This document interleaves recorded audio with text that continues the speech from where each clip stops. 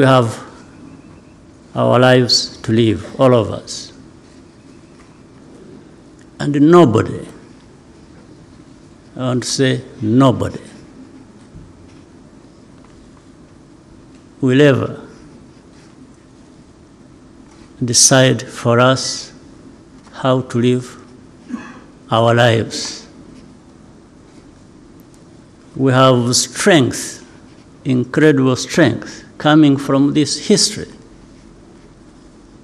that informs us, that tells us that you should never, never allow anybody else